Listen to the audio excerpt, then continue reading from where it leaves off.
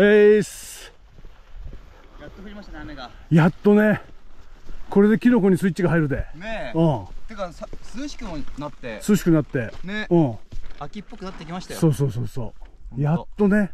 うん。だってもうだって20日だねそういや珍しいっすよこんな暑いの。ね。おかしいよ。異常気象だよ本当です。本当に。来週くらいが見頃かなって。あ草もみじ。そうですか。あのかの有名な五十嵐さんが言ってました。あ本当に？はい。来週頃かな。あそって。五十嵐くんね。だから来週ですよ。う来週ね。はい。始まります。わかった。うん。大勢の秋。大勢の秋ね。それで一気に冬になるんだろそうどうせね。うどうせ。あ今年は雪どうですか雪は？降るんじゃないですか。降る降水量少なすぎっすよね。そう少なすぎ。だから後で干からびてますから。多分後で調子が合うと思うんだよね。ねえだからうん。雪降ってくれたらありがたいなと思そうって。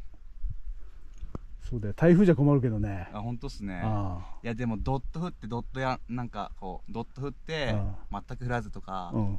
そんな気がするんですけどそうねか。どうせ。嫌だね。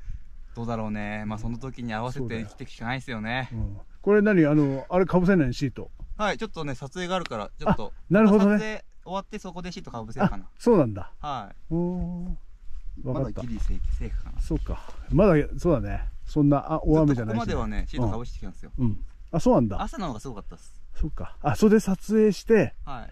それでまたシートかぶせるんねそうっすね。はい。竜宮の森で。了解です。はい。お疲れ様です。じゃあ気をつけて。はーい。はい。はいどうもー。取っちゃいました